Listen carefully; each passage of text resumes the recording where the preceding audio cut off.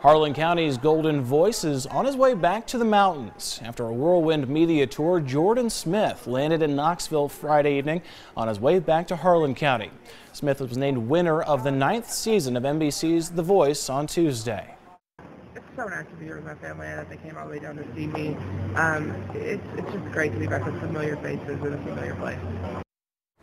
We will have live coverage of his homecoming on Monday beginning at 2.30 on WYMT.com.